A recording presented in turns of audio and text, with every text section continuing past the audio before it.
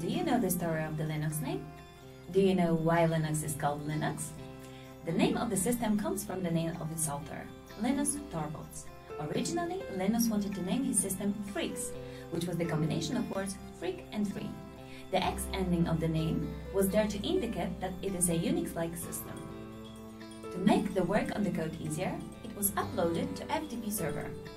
Server administrator was Ari Lemmke, didn't think that the name Freax is a good name for the project. He named the project Linux, giving Linus a directory of server named Linux. Wondering if this directory exists? Sure, it's there. Check out the links under this video, where you will find where to download the historic first announced to the world Linux kernel package. Take care guys!